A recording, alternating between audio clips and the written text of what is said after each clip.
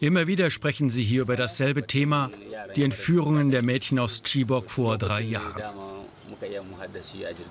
Sie kommen selbst aus dem kleinen Ort, leben mittlerweile in der Provinzhauptstadt Maiduguri.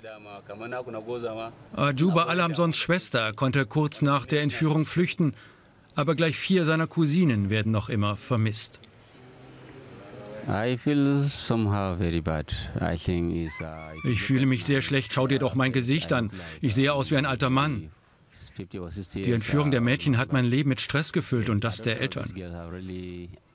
Wir leben immer noch in Ungewissheit. Seit drei Jahren haben wir keine glaubhaften Informationen über sie erhalten, ob sie am Leben sind oder nicht.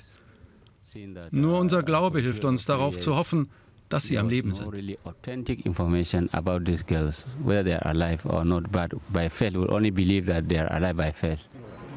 Im Oktober ließ Boko Haram 21 Mädchen frei, doch seitdem gibt es keine Neuigkeiten.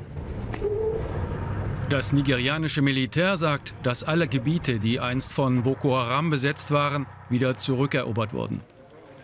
30.000 Zivilisten wurden dabei befreit, sagt der Kommandant der Operation im Nordosten Nigerias. Lange wurden die Chibok-Mädchen im riesigen Sambisa-Wald vermutet, doch noch immer gibt es keine Spur. So what we're doing is to go from one corner uh, to the other of the forest. Wir durchsuchen den Wald von einer Seite zur anderen. Deshalb ist die Operation noch nicht vorbei. Wir glauben, dass wir sie dabei finden werden, solange sie noch auf nigerianischem Boden sind. Seit fast zwei Jahren ist Präsident Muhammadu Buhari an der Macht. Eines seiner Wahlversprechen war, den Kampf gegen Boko Haram voranzutreiben. Und darin kann er in der Tat Erfolge vorweisen. Aber er hat auch versprochen, die Chibok-Mädchen zurückzubringen. Und darin hat er bisher versagt. Ajuba Alamson hat das Vertrauen in seine Regierung verloren. Weder der frühere noch der aktuelle Präsident hätten jemals Chibok besucht. Und auch er plant vorerst nicht, zurückzukehren.